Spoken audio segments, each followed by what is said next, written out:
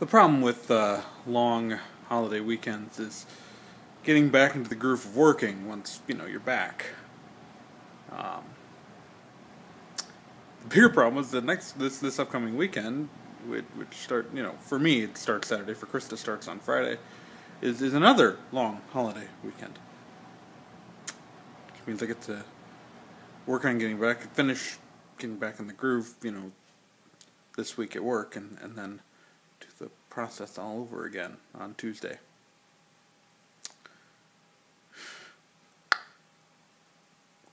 Późno.